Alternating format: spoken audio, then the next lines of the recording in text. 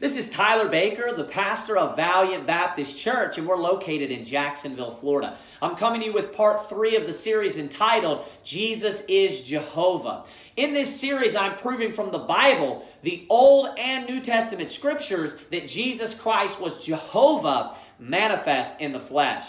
Now, we first see God introducing his personal name as Jehovah in Exodus chapter number 6. This is a conversation that God had with Moses when he appeared on him in the burning bush and sent him forth to the children of Israel with a message. I want to look at an earlier portion of that conversation in Exodus chapter number 3. This is that same conversation when Moses is speaking unto God. And Moses requests from God, What is your name, and who shall I tell the children of Israel has sent me unto them? It says this in verse number 14 of Exodus 3. And God said unto Moses, I am that I am. And he said, Thus shalt thou say unto the children of Israel, I am has sent me unto you. Now we find here a very interesting occurrence. We see that God uses the phrase I am as a name or as a title. And he is, and this is, the only time in all of the Old Testament where this phrase is used as a name or as a title. And of course, we see God using it. The word or the phrase I am is a state of being.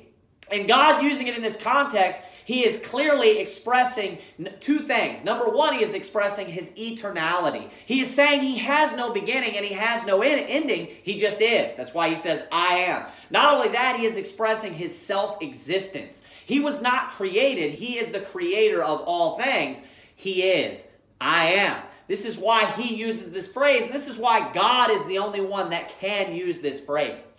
Well, with that in mind, skip forward to the New Testament. I want to read to you from John chapter number 8, verse number 58.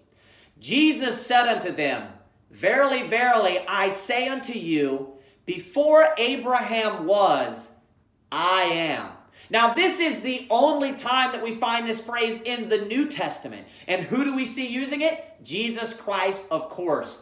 God manifest in the flesh. Notice what he says Before Abraham was, I am. He is clearly using the phrase I am as a name or as a title. And why would you use the phrase I am as a name or as a title? Well, of course, to express eternality. Of course, to express self existence. This could only apply to God. This could only apply to the one true God, Jehovah. And we see Jesus using it, further proving that Jesus is Jehovah. He declares himself to be Jehovah. Not only that, if we look further at the context, we can see this even more so.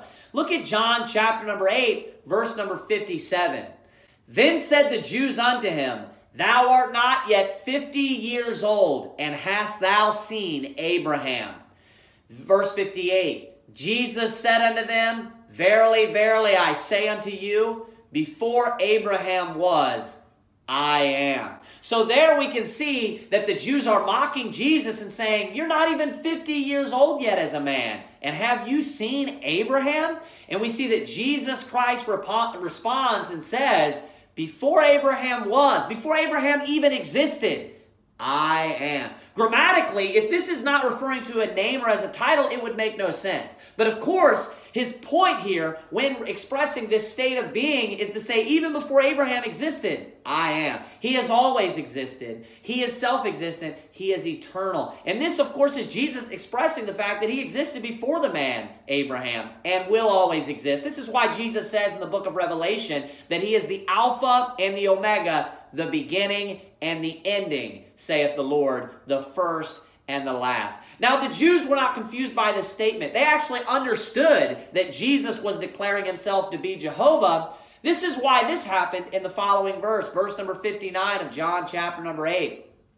Then took they up stones to cast at him, but Jesus hid himself and went out of the temple, going through the midst of them and so passed by. So the Jews understood very clearly what Jesus was saying and who he was proclaiming himself to be, and that is Jehovah in the flesh. God bless you and have a good day.